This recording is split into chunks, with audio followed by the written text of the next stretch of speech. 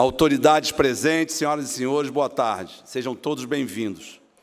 Sob a proteção de Deus, declaro aberta a sessão solene em homenagem ao Dia do Exército, entrega de medalhas Tiradentes ao general do Exército José Eduardo Pereira, comandante militar do Leste, ao general de brigada Sérgio Borges Medeiros da Silva, chefe do Estado-Maior do Comando Militar do Leste, ao coronel de engenharia José Fernandes Figueiras Filho, chefe do Estado-Maior da 12ª Região Militar. Solicito ao, ao cerimonial que conduza, na verdade já estamos aqui, pedir por favor aqui uma salva de palmas para os nossos homenageados.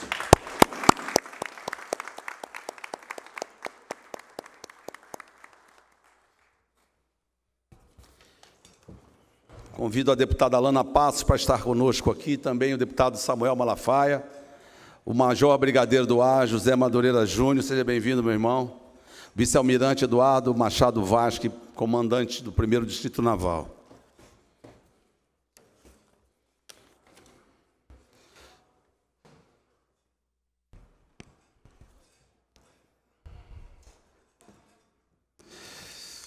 Solicito a todos que se coloquem em posição de respeito para ouvirmos o hino nacional executado pela banda de música do 1 Batalhão de Guardas sob a regência do subtenente Fábio. Agradecemos desde já a todos os integrantes da banda por abrilhantar essa cerimônia.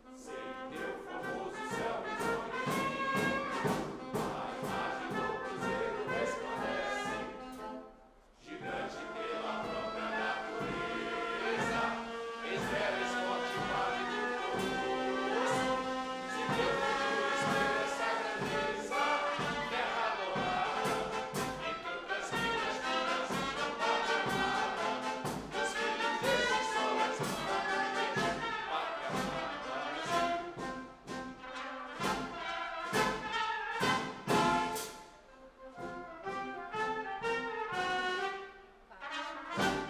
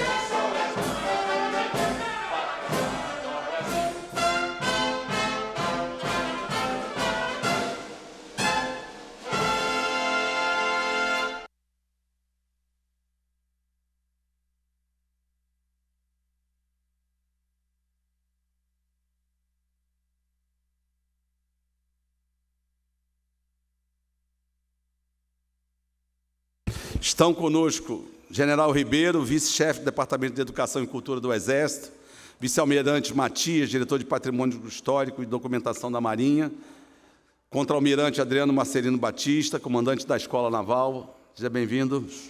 Contra-almirante Jacques, diretor de Assistência Social, entre outros. Sejam todos bem-vindos. Eu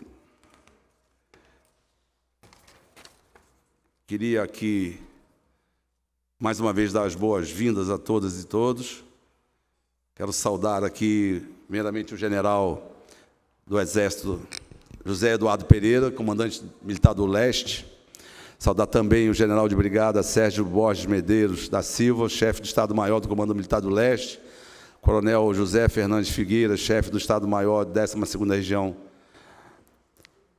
também saudar os parlamentares presentes, deputada Alana Passos, deputado Samuel Malafaia, e dou as boas-vindas aos demais integrantes das Forças Armadas presentes a esta solenidade. E a todos os presentes. Este é um momento muito especial para a Assembleia do Estado do Rio de Janeiro, para poder prestarmos essa justa e merecida homenagem em alusão ao Dia do Exército. E, acima de tudo, a extrema, extremamente significativo para nós. Trata-se de um, uma grande satisfação para o Parlamento conceder a medalha Tiradentes, a maior honraria da LERJ ao general do Exército José Eduardo Pereira, ao general Sérgio Borges, ao coronel José Fernandes Figueiras, que sem dúvida alguma tem dado inestimáveis contribuições ao Estado por meio do fundamental papel exercido pelo Comando Militar do Leste. Um reconhecimento que se fazia necessário e que reflete a importância não apenas do Exército, mas das Forças Armadas como um todo. O Comando Militar do Leste recém, recentemente completou 201 anos, tendo atuação primordial ao longo dos tempos através de sua operacionalidade e da integração com a sociedade. E sob o comando do general José Eduardo, vem realizando um notável trabalho. Podemos destacar a atuação do Exército, por exemplo, na recente, no recente e triste episódio das fortes chuvas que atingiram de forma devastadora o município de Petrópolis. O Comando Militar do Leste deu total apoio à Defesa Civil do Estado e ao Corpo do Bombeiro, no atendimento às centenas de vítimas dessa tragédia. Eu estive na cidade no dia do acontecido e pude ver de perto quão valoroso e importante foi essa união de forças em prol da população petropolitana. E aproveitar o momento aqui, Mirante Batista, de lembrar também o trabalho dos fuzileiros navais lá no ocorrido. Também agradecer aqui, esse momento, à Marinha. O Comando Militar do Leste também teve destacada participação no combate à pandemia. Cito, por exemplo, os casos de recuperação e adaptação das instalações hospitalares do Complexo Penitenciário do Jerecinó, bem como a desinfecção de áreas públicas, entre outras tantas ações que poderíamos aqui enumerar. Neste momento, portanto, o sentimento que me move é de gratidão pela oportunidade de prestar essa homenagem aos três militares agraciados e pela chance de agradecer novamente por ter recebido no ano passado a medalha do Exército Brasileiro, que muito me orgulhou. É louvável a missão do Exército de contribuir para a garantia da soberania nacional, dos poderes constitucionais, da lei e da ordem, salvaguardando os interesses nacionais e cooperando com o desenvolvimento nacional. A data em que se comemora o Dia do Exército remete à memória da Batalha dos Guararapes, que ocorreu em 19 de abril de 1648 no estado de Pernambuco. Um grupo de brasileiros de diferentes etnias, mas com o mesmo sentido patriótico, se reuniu pela primeira vez para combater a dominação holandesa. Inspirado neste marco histórico, renova, aqui o comprometimento da Alerj em seguir atuando de forma harmônica com as Forças Armadas, todos os demais poderes e com a sociedade civil em defesa do Estado, da democracia e principalmente do bem-estar da população fluminense. Parabéns a todos os homenageados e a todos os integrantes das Forças Armadas. Mais uma vez, muito, muito obrigado. É uma honra para nós podermos é, prestar essa homenagem. Muito obrigado.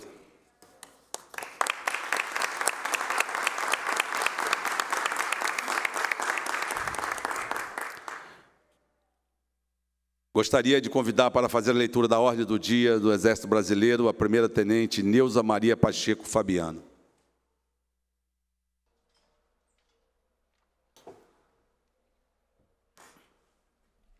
Ordem do dia, 19 de abril, Dia do Exército. A insurreição pernambucana, ao ser considerada o berço da nacionalidade, nos remete de imediato a Guararapes, cujos feitos marcaram a gênese do Exército Brasileiro. Ali surgiram nossos primeiros heróis, em uma espontânea fusão de raças, brancos, negros e índios, conjurados livremente sobre o inédito brado de pátria. Lutaram, lutaram bravamente contra o invasor estrangeiro. Com inteligência, coragem, espírito aguerrido e vigor, souberam concretizar o anseio de liberdade e o amor incondicional à terra. Nascia de forma inequívoca o sentimento de soberania nacional, nosso maior legado do qual jamais abriremos mão, custe o que custar. Hoje, uma vez mais, reverenciamos esse glorioso processo histórico de consolidação de identidade nacional.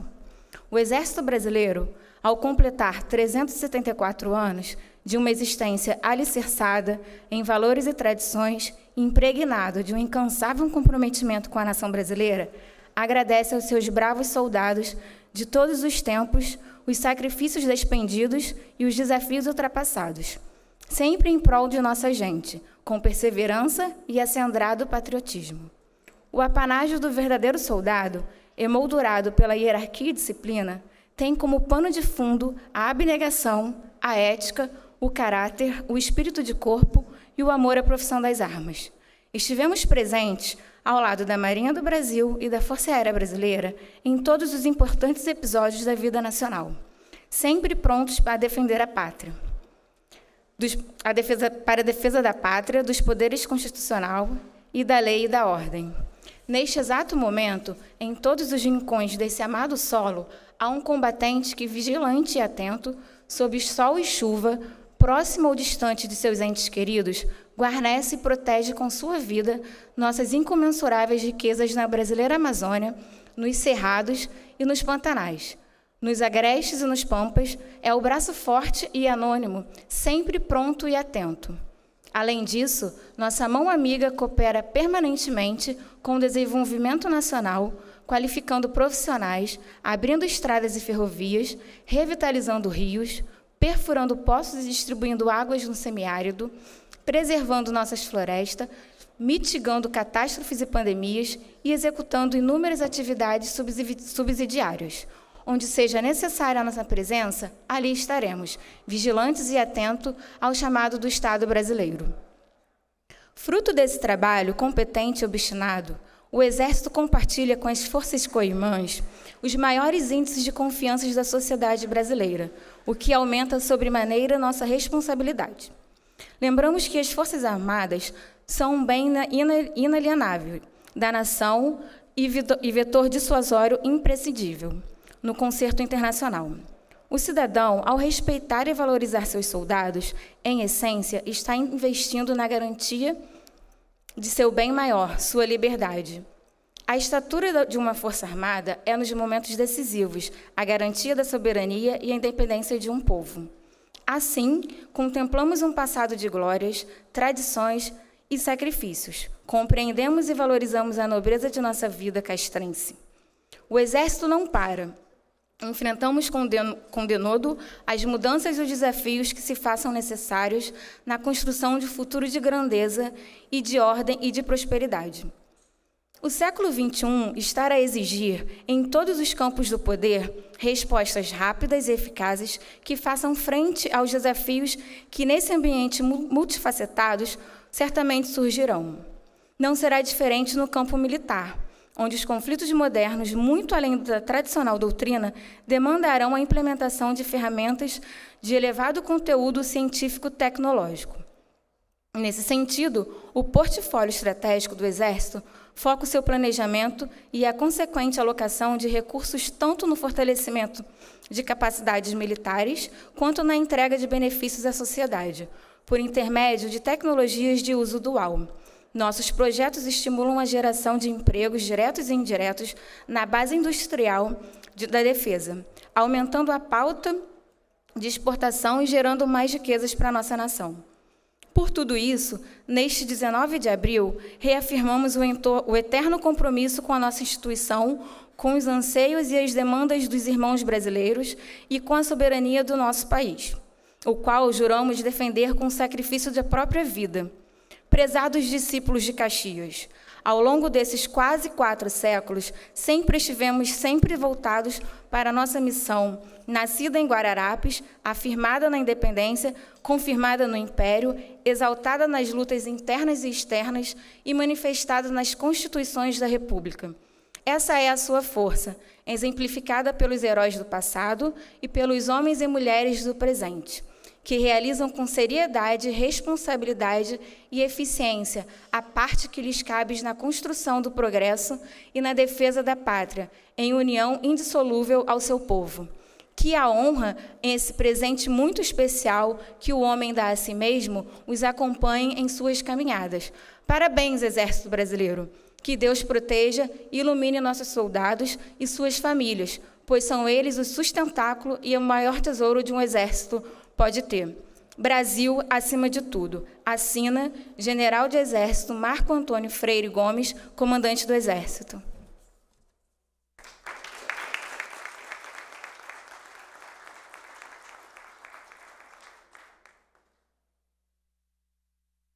Quero convidar para estar conosco aqui nosso amigo deputado federal Antônio, Otone de Paula. Seja bem-vindo, meu irmão.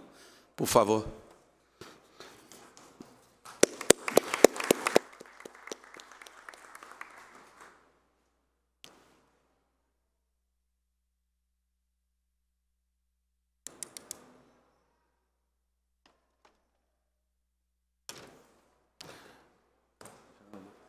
chega um pouquinho para cá, se você consegue vir mais para cá. Fica aqui mais. Presidente. Obrigado. Você está bem? Estou bem.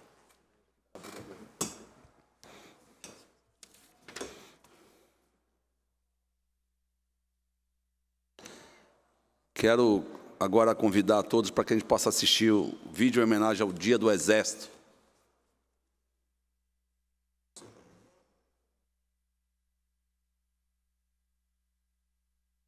Eu nasci no Nordeste há mais de 300 anos. Fui para todas as regiões do país. Estive presente em momentos históricos.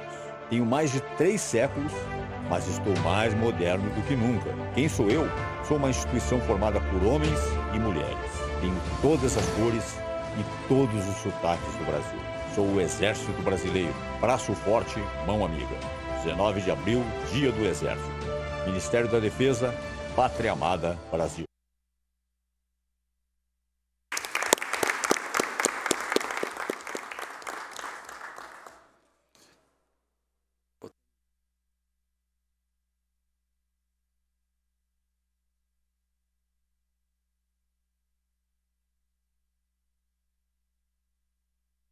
Convido, para nós seria uma honra vê-lo na tribuna, fazer aqui uma saudação aos homenageados e ao Dia do Exército. Convidar o deputado Otônio de Paula, por favor.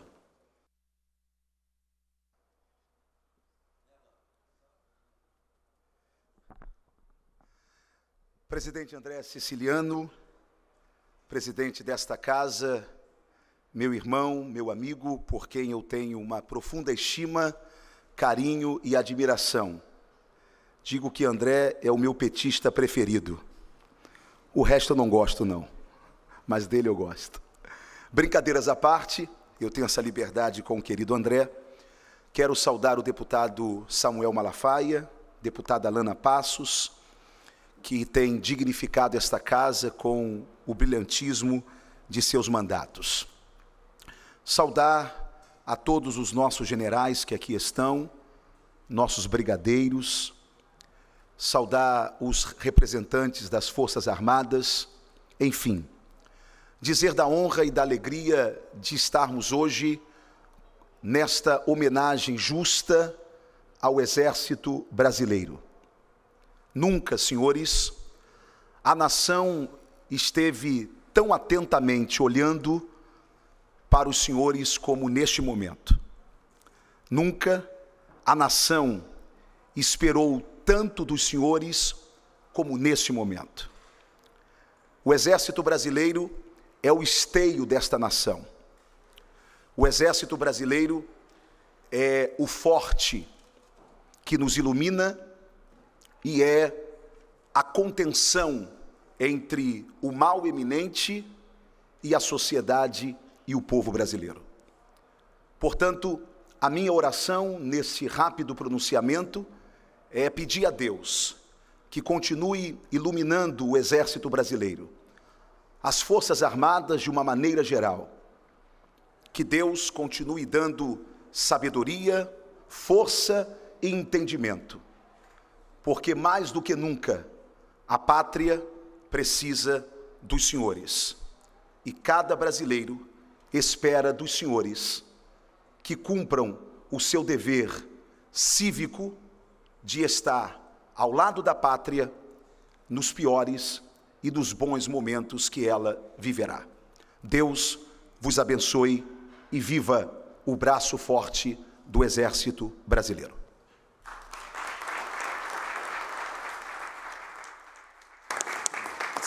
Vocês viram que eu acertei voz de locutor, nosso amigo.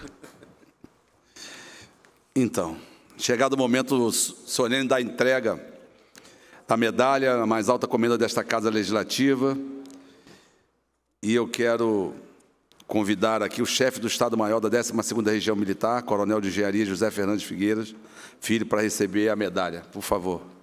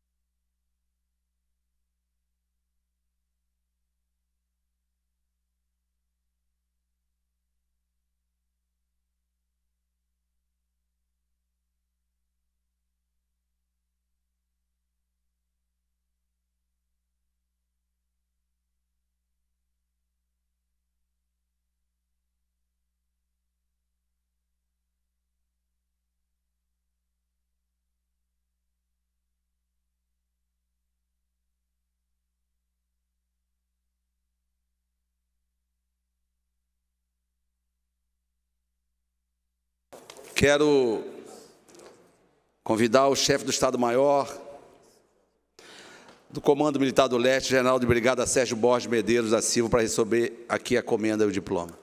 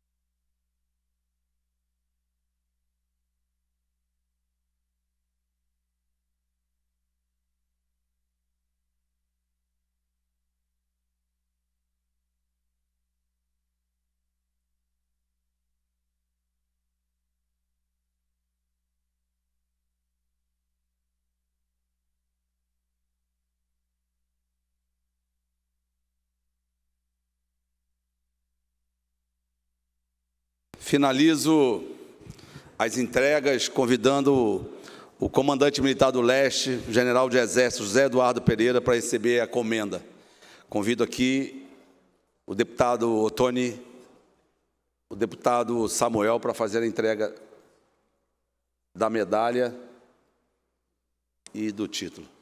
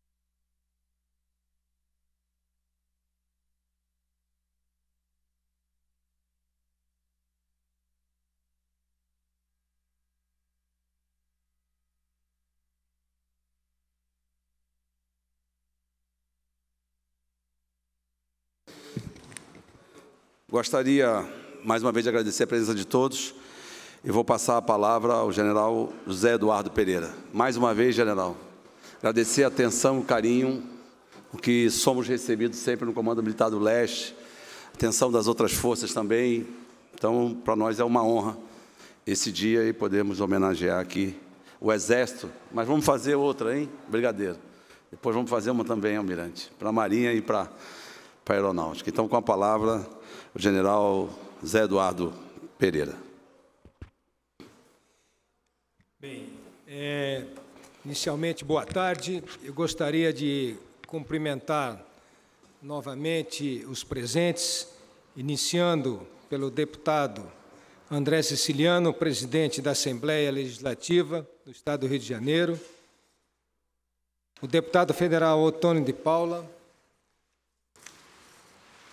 Gostaria de cumprimentar o vice-almirante Vasques, comandante do 1 Distrito Naval, o major brigadeiro do Ar Madureira, comandante do 3 Comar, deputado Samuel Malafaia e a deputada Alana Passos, em nome dos quais eu estendo esse cumprimento a todos os presentes, civis e militares, que neste momento estamos reunidos para falar sobre o Exército Brasileiro e a homenagem que foi feita por essa casa. É uma grande alegria estarmos reunidos nesse local. Para isso, gostaria de relembrar algumas palavras que foram eh, descritas na ordem do dia no sentido de reforçar algumas ideias sobre essa homenagem ao Exército Brasileiro na data do nosso aniversário. No dia 19 de abril passado, nós comemoramos 374 anos do Exército Brasileiro, a instituição de Estado cuja missão é contribuir para a garantia da nossa soberania nacional dos poderes constitucionais, da lei e da ordem, salvaguardando os interesses do país, cooperando com o desenvolvimento nacional e com bem-estar social. Para tanto, prepara sua força terrestre, mantendo-a em permanente estado de prontidão. Este exército, que acabo de descrever a sua origem, ao longo de quase quatro séculos de existência, tem se sustentado por sólidos alicerces, deveres, valores e ética. Amar a pátria, cuja história, símbolos e tradições, sublimando a determinação de defender seus interesses vitais com o sacrifício da própria vida. Consubstanciam o patriotismo intrínseco a cada integrante da instituição. Cumprir as leis com autoridade, determinação, dignidade e dedicação, cultuando a verdade, a sinceridade e a sadia camaradagem. Emolduram o caráter de todos os soldados brasileiros. Esse soldado brasileiro se pauta pela honradez, honestidade e senso de justiça, sendo capaz de decidir com iniciativa, equilíbrio e firmeza de propósito, mesmo sobre o risco de morte ou com prejuízo de interesses pessoais. Com relação ao Comando Militar do Leste, o bicentenário do CML, integrante da Força Terrestre, Exército Brasileiro, nasce com a Corte na província do Rio de Janeiro, com o decreto número 22 de março de 1821 assinado por D. João VI. Sua trajetória evolutiva, portanto, confunde-se com a punjante, estada, punjante Estado fluminense. Atualmente, com mais de 33 mil integrantes, homens e mulheres dedicados, motivados, o Comando Militar do Leste, ao longo do tempo, tem garantido as capacidades necessárias para o emprego de suas tropas em quaisquer condições, fortalecendo a imagem do Exército e cumprindo as suas missões de forma efetiva, com integração com as forças co-irmãs, a Marinha do Brasil e a Força Aérea Brasileira, com os órgãos de segurança pública e com as agências governamentais e não governamentais. Desta forma, o seu passado se reveste de grande operacionalidade sempre que solicitado, emprega seu braço forte e a sua mão amiga, cujos reflexos positivos são perceptíveis ao Estado do Rio de Janeiro e ao Brasil. Nesse escopo, tem garantido ao longo dos anos um ambiente seguro e estável durante os períodos eleitorais, proporcionando igualmente a manutenção da lei e da ordem sempre que demandado, e cooperando nos esforços necessários durante as catástrofes emergenciais, humanitárias e outros problemas ligados ao nosso povo. Nesse escopo, destaca-se a participação do Comando Militar do Leste na luta contra a, a pandemia da Covid-19, que a partir de março, que desde março de 2020 um comando conjunto com a Marinha do Brasil e a Força Aérea, apoiamos órgãos de saúde, capacitando o pessoal, realizando desinfecções, produzindo equipamentos de proteção individual, prestando apoio logístico e participando de campanhas de vacinação.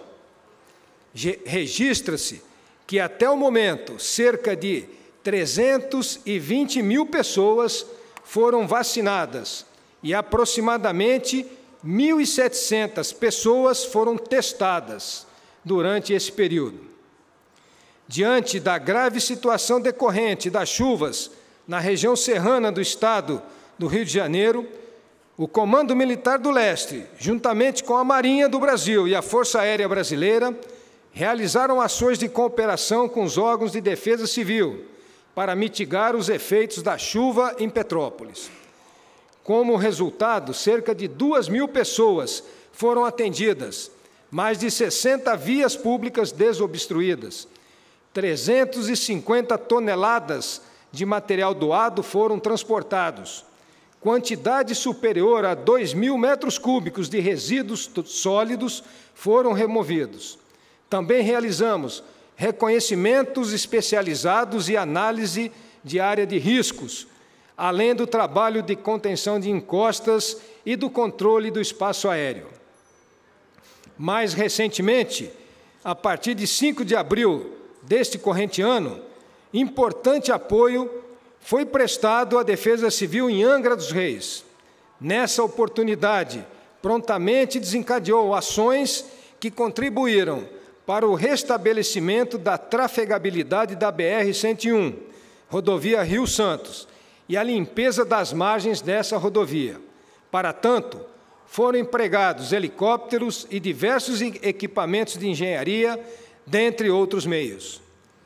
A operação transcorreu em diversos pontos, com parceria com o grupo CCR, Companhia de Concessão de Rodovias, Infraestruturas e Mobilidade, Prefeitura de Angra dos Reis, Defesa Civil e Corpo de Bombeiros Militares do Estado do Rio de Janeiro.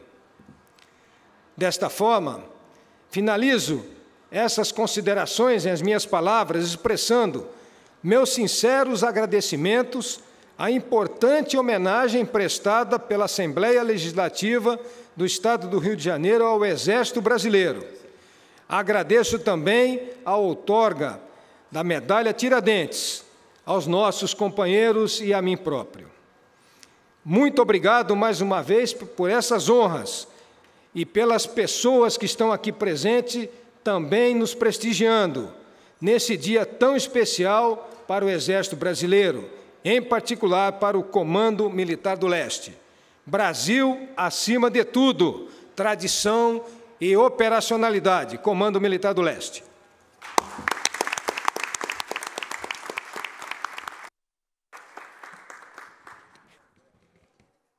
Queria, antes de encerrar essa cerimônia, saudar a presença do Maurício de Bons, empresário, Márcio Teles de Menezes, da Sociedade de Amigos da Marinha, José Antônio de Souza Batista, da Sociedade de Amigos da Marinha, José Carlos Matias, do Museu Nacional, Tom Michel Cury, advogado, Vale de Haddad, empresário aqui presente. Mais uma vez, agradecer a presença de todos e todas, dizer da importância desse momento, dizer para nós é uma honra poder homenagear o Comando Militar do Leste, especial ao nosso amigo General José Eduardo, o General é, Sérgio Borges e faltando. Coronel de Infantaria José Fernandes Figueira.